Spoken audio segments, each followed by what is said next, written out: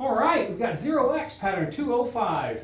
And looking at this, you know, I don't like stripes. Um, I kind of need to start with the 12, but then I've got problems cleaning up the rest of the table. Solids uh, have opportunities, but I don't like shape on this 8.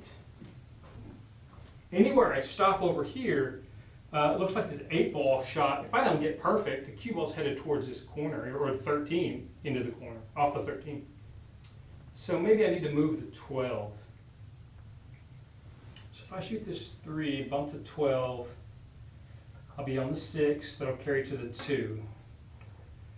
Um, well, the 1's connected to the 7 will be connected to the 8. So that means I just need to solve 4, 5, 1. If I shoot the 4 to the 5, I get on the 1, that gets me to the 7. So that, I think that's the, that's the way these balls are connected. So let's try that. This is a 3 ball into the top, or on bottom right, straight top. And I'm barely going to move that 12 ball. I just need to get it off of the 8 ball. I don't want to push it down to the 1.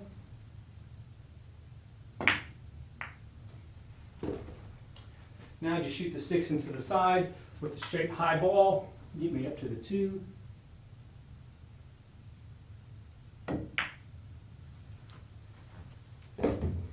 And I've got a lot of good places to be here on the floor. I just don't want to leave the cue ball somewhere I got to fight with it. So make sure you get the cue ball off the rail. Middle of the table is good. This is fine. And now, anywhere I get on this five ball is going to carry me to the one. So I just need to make sure I don't roll too far. So I'm just going to hit this soft right in the face of the floor. Leave the cue ball kind of right there.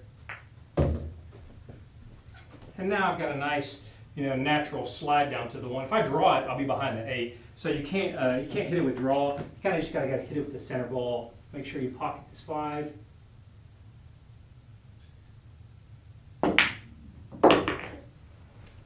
And now, basically anywhere I get on that seven ball, um, I should be good to run out. So I'm just gonna roll up a hair, put the seven in the side.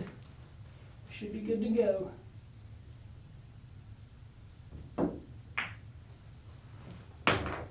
I got a nice little bumper there on the 15 anyway, so awesome.